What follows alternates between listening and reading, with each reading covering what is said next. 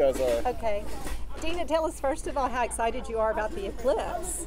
I mean, this is a seeing the eclipse is a once in a lifetime. Some people have seen maybe two eclipses in their life, but being the age of 42, it's like, wow, I might may or may not be here for the next one. So it's like I gotta enjoy all of it for what it is right now. Now you said see the eclipse as someone visually impaired. What does that mean to you?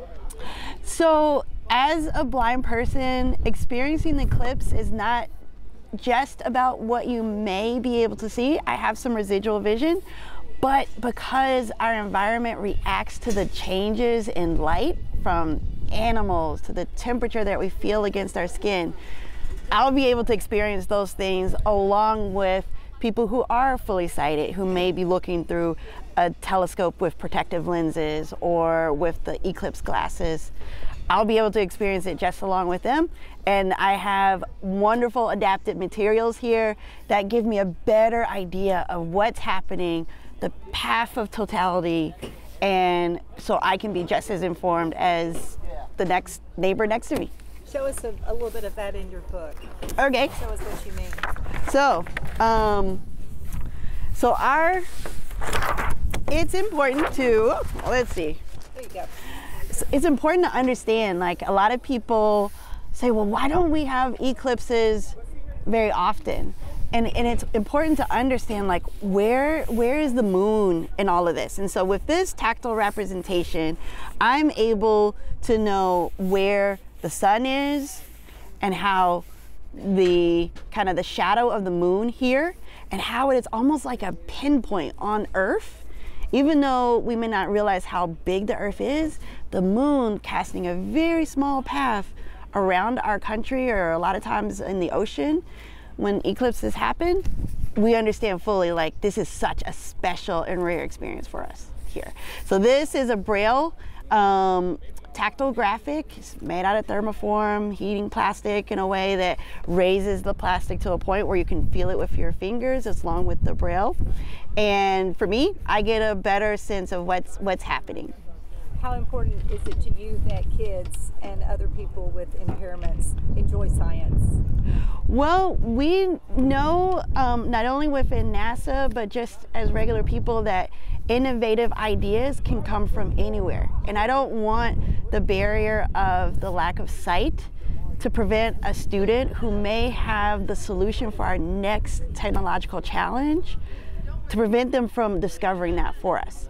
So if we can have materials like the tactile graphics books or the light sound box to help them experience the eclipse, to activate that idea, then that, that is worth it. That's worth figuring out how we're going to do this and, and bringing this to their hometown. And that's why I'm excited to be here, to be back home and bringing the eclipse to blind and visually impaired kids.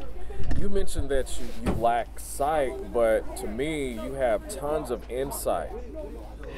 I, you know, I think um, I, I owe a lot of that to my to my parents.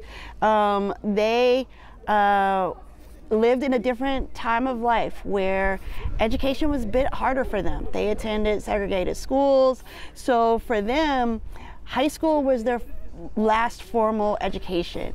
But for me, they knew that education was going to be key for me to survive and even thrive.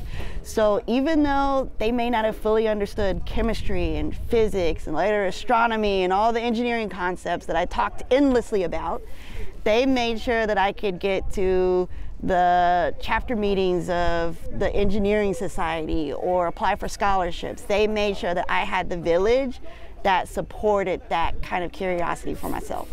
That's amazing. So tomorrow, just now, this is just for background for us. We have uh, talked with Dr. Constance, and she mentioned that you guys will have 100 to 200 um, students, along with NASA researchers here, mm-hmm. sending up balloons, sending up CubeSats, and also using Android cell phones to conduct research. Mm-hmm. What type of research and what do you plan to do with that research once you get it? Okay, so this is such a great opportunity, especially with our mobile devices. We can get a view of the sun that we rarely get an opportunity to see. And so, with our citizen science, we're able to detect environmental changes, such as temperature changes that people can actually do. Um, we can record any environmental changes with animals and wildlife around us.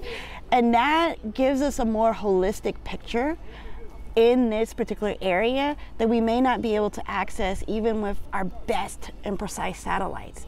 It's, it's our human experience that can help drive that scientific knowledge actually on the ground as it's happening. And it gives us a much more detailed view of what's happening when you have thousand points of um, data points and, you know, compared to some other kind of event where you may only have one or two data points. Wow. You're an inspiration. so it, it's definitely um, it's exciting because for us being primarily an um, agricultural state, it's nice to be able to tell the story that we can use the insights gained from um, the space weather events that we're seeing with our sun and its maximum level of activity that may uh, give us coronal eruptions or impact our ability to track our GPSs or satellite signals. We can give that information to people who are deciding what crops to use or how they're going to be able to access climate data. We can bring that home and say, yes, if you're a farmer, if you are um, just a regular person, you can access this information but here's where it came from. It came from the eclipse that happened in 2024, and we likely won't see that again for another 21 years. I think we're done. I think